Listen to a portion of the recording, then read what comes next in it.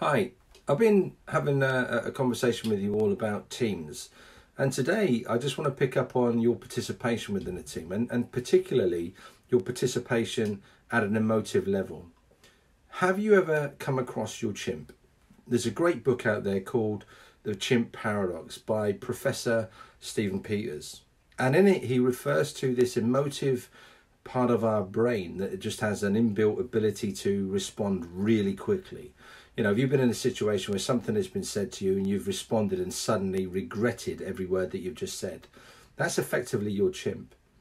In a team environment, it can be quite damaging if we aren't able to manage that response. So, really, today, I just want you to reflect a little bit in terms of, you know, am I the type of person that, you know has a chimp that runs rampant? Uh, am I able to manage my chimp? I'd be interested in your thoughts.